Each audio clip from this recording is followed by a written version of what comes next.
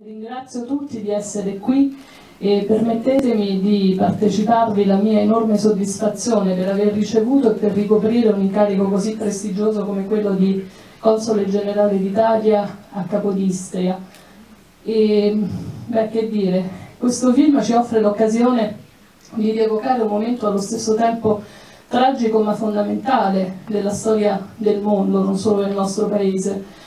Qualche mese fa mi trovavo ancora in Belgio e mi sono trovata a partecipare alle commemorazioni per l'inizio della Grande Guerra. C'era il nostro Presidente del Senato in nome della Repubblica Italiana e abbiamo avuto modo di ripercorrere i momenti drammatici dell'inizio della guerra con la resistenza del popolo belga che di fatto poi ha rallentato l'avanzata dell'invasore.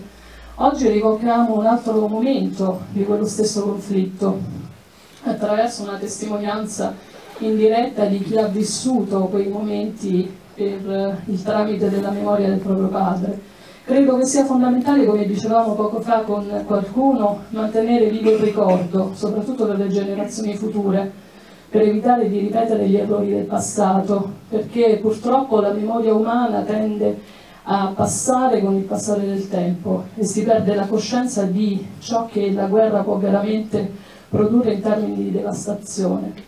Per cui spero che sia per tutti un momento di riflessione, ma allo stesso tempo anche un momento di gioia per essere qui tutti insieme.